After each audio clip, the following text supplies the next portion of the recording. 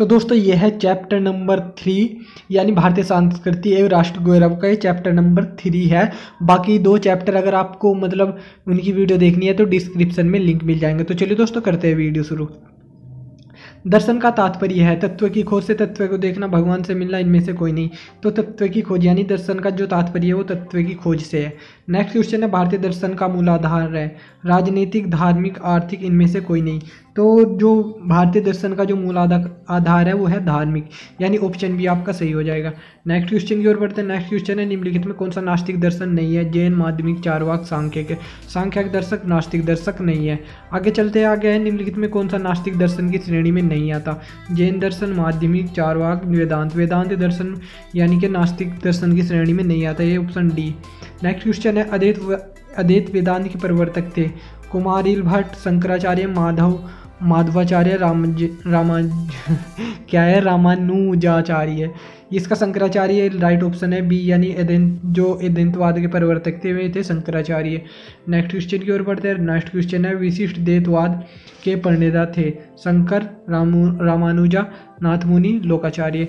तो इसका right option है बी रामानुजा, जो विशिष्ट देतवाद के परिणेता थे।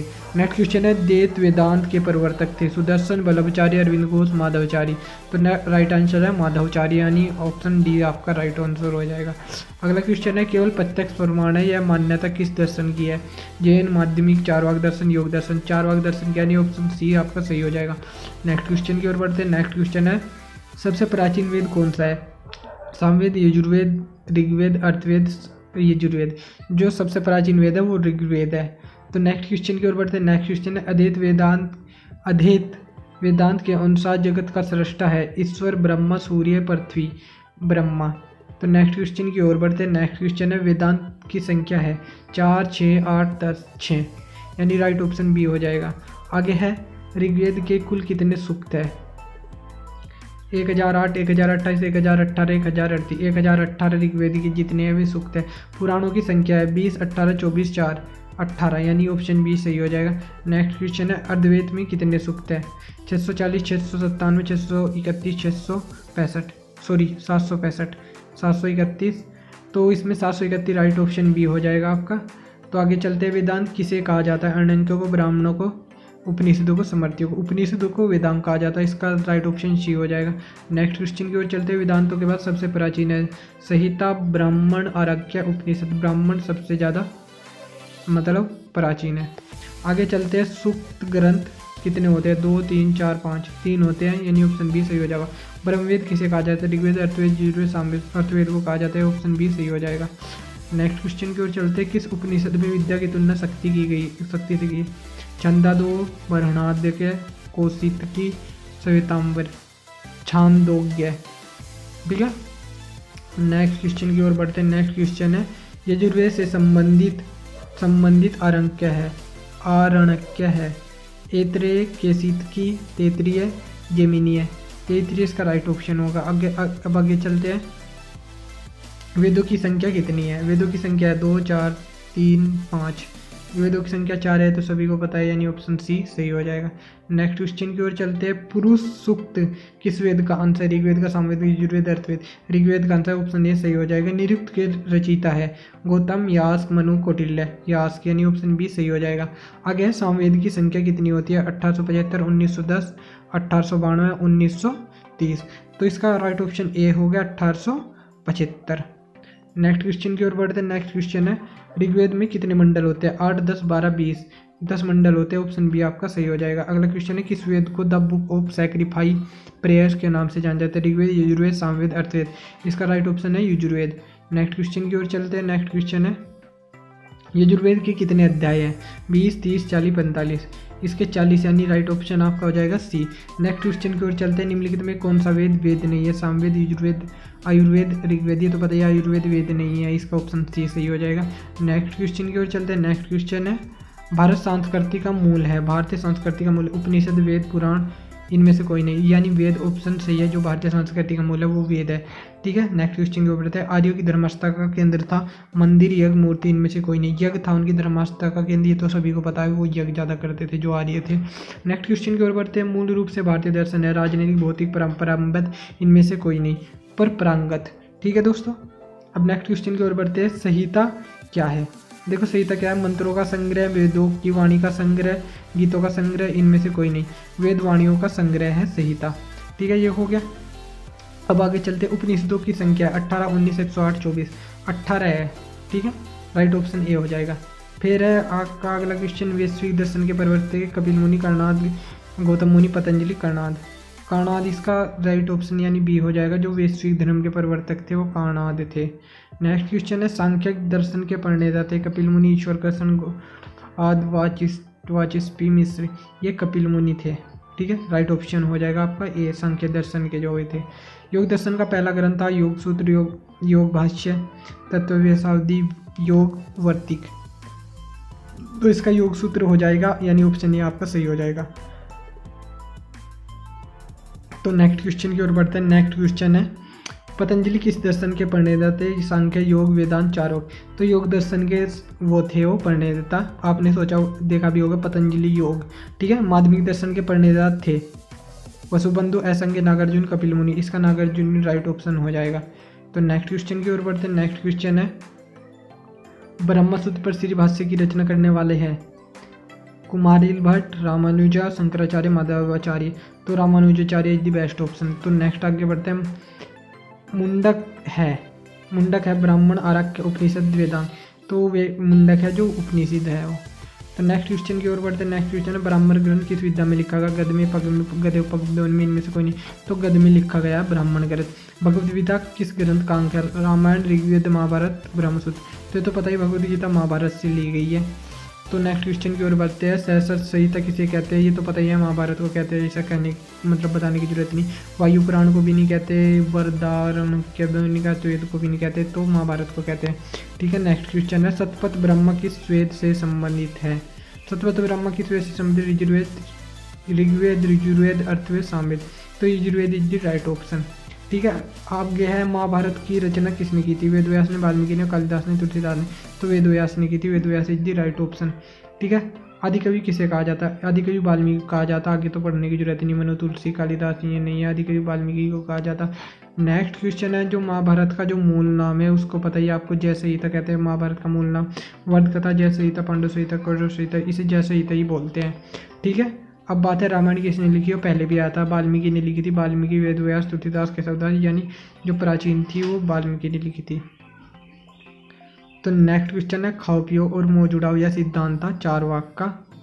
न्याय, वैश्विक वेदांत तो चार वाक का कथन था, खाओ, पियो और भाई सो जाओ और मोह जुड़ाओ, चार वाक का कथन था ये। तो अगला क्वेश्चन है, न्याय सू, न्याय सूत्र के रचिता है।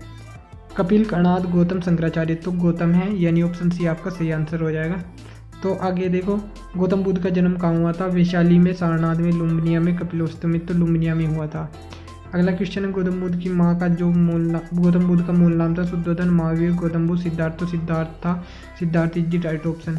Next question की ओर बढ़ते हैं कुशीनगर कुशीनगर किस मृत, किसकी मृत्यु का स्थान है? महावीर की शंकराचार्य, गौतम बुद्ध की, इनमें से कोई नहीं। गौतम बुद्ध की स्थान है कुशीनगर।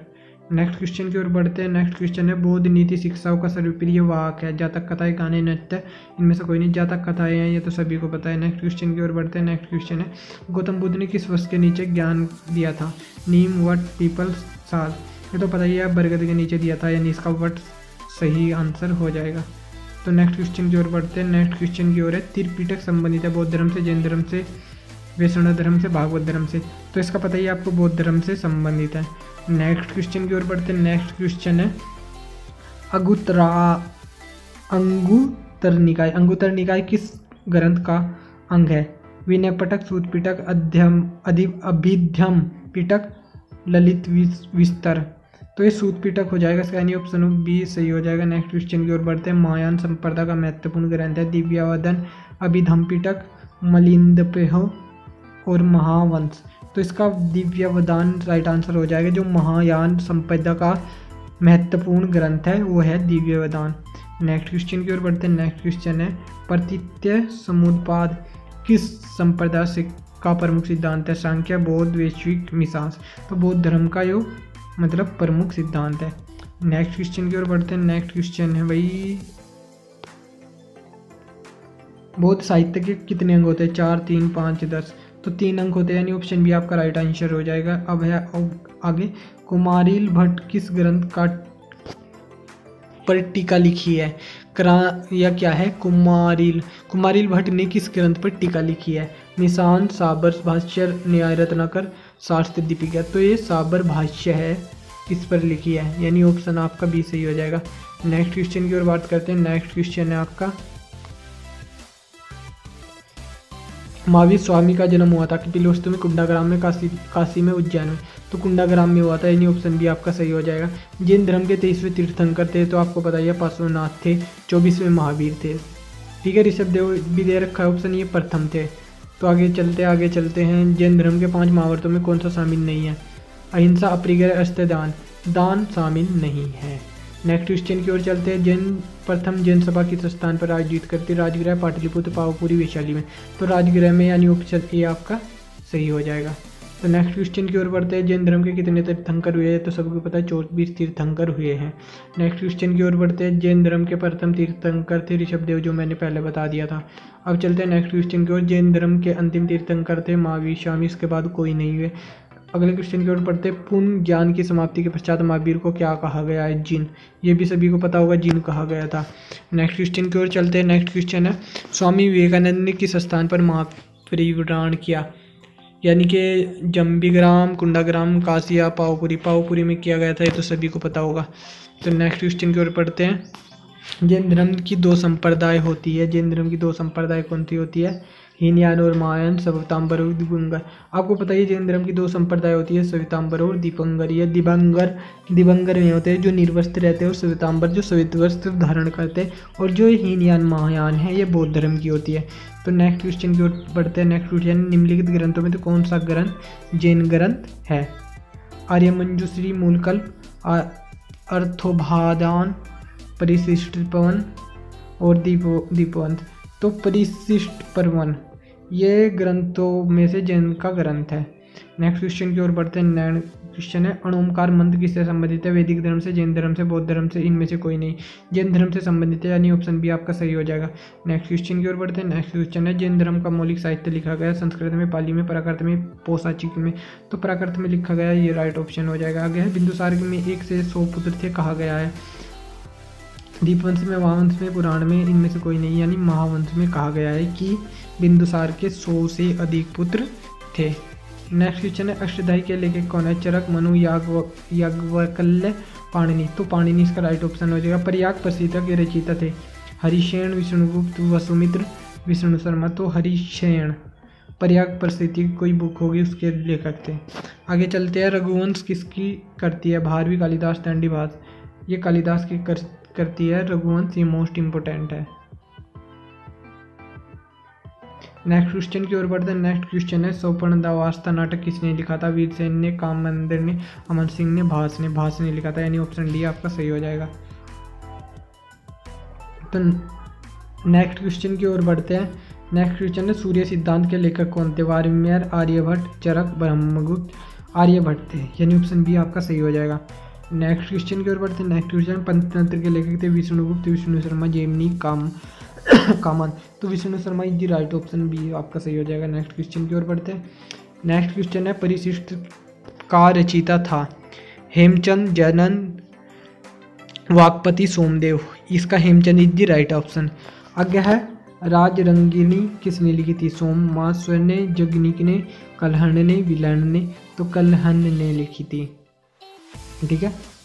पृथ्वीराज रासो के लेखक है। चंद्रबरदाई जयसिंह, जा, जगनिक, जयचंद और चंद्रवरदाई इसके लेखक है। अगला क्वेश्चन है हर्ष रचित किसने लिखा था? बाण ने, ब्रह्मगुप्त ने, अश्वघोष ने, हर्षवर्धन ने, बाण ने। तो इसका बाण यानी कि राइट ऑप्शन है। अगला उत्तर है, उत्तर रामचरित किसने, की रचना किसने की थी? कालिदास ने बहुवती ने भाष ने, दांडी ने तो बहुवती इसका राइट ऑप्शन है बी आज्ञा है मच्छ कटिक के रचनाकार थे, सुद्रक थे विशाख दत्त कालिदास थे सुतबंधु थे तो सुद्रक इसका राइट ऑप्शन है? नेक्स्ट क्वेश्चन की ओर बढ़ते हैं। नेक्स्ट क्वेश्चन है, देवीचंद किसकी करती है? कालिदास विशाख दत्त विष्णुसेन परसर्वसेन तो ये विशाखा दत्त की है। नेक्स्ट क्वेश्चन की ओर बढ़ते हैं। सोरानंद नामक महाकाव्य की रचिता है। अश्वघोष भाष बारहवीं कालिदास, ये अश्वघोष है। ठीक है? आगे है मालविकाग्नि मित्र नामक किसने लिखा था। श्रीहस ने बाणभट्ट ने, कालिदास ने बारहवीं तो कालिदास ने लिखा था। नेक्स्ट क्वेश्चन है, कुमार संभव महाकाव्य के लेखक थे भास कालिदास भर्तीहरि माघ कालिदास थे। ठीक है नेक्स्ट क्वेश्चन की ओर बढ़ते हैं। शिशुपालक वर्ग किसकी रचना है? भास की भारवी की, माघ की, बाण की। तो गाली सी होगी ये तो माघ की। ठीक है, अब नेक्स्ट क्वेश्चन है, चोर पचासी का किसकी रचना है? कल्याण की सुदरक की सीरियस की विलन की।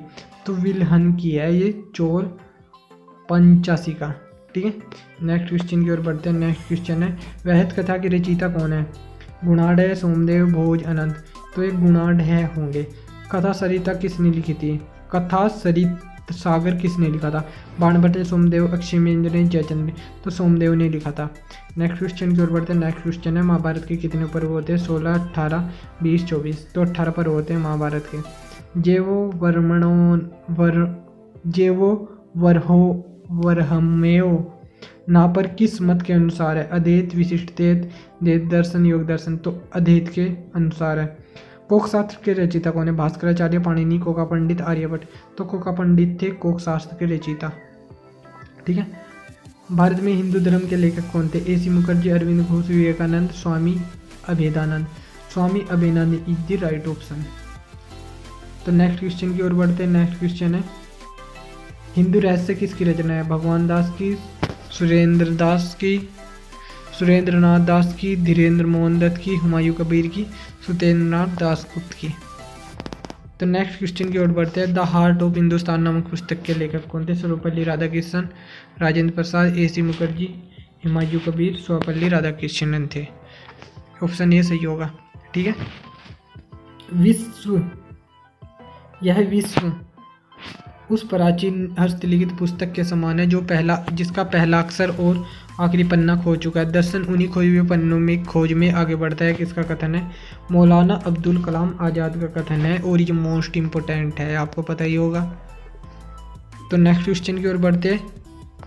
नेक्स्ट क्वेश्चन है, the Hindu view of life नामक पुस्तक के लेखक है। Dhirendra Mohan, doctor Radhakrishnan, A C Mukherjee, Humayun Kabir. तो डॉक्टर राधाकृष्णन है। तो यानी कि ऑप्शन आपका बी सही हो जाएगा। तो इसी के साथ ही हमारा गौरवशाली ये जो भारतीय संस्कृति और राष्ट्र गौरव है। इसका तीसरा चैप्टर भी समाप्त होता है। तो अगर अभी तक चैनल सब्सक्राइब नहीं किया तो चैनल को सब्सक्राइब ज़रूर करना और इनकी तैयारी अच्छे से, आपकी मर्ज़ी है, करो या ना करो, वो आपको देखना है। मुझे करानी थी तो मैंने करा दी। तो चलिए दोस्तों, अभी तक के लिए तो नहीं मिलता हूँ नेक्स्ट वीडियो तब तक के लिए वंदे मातरम। जय हिंद।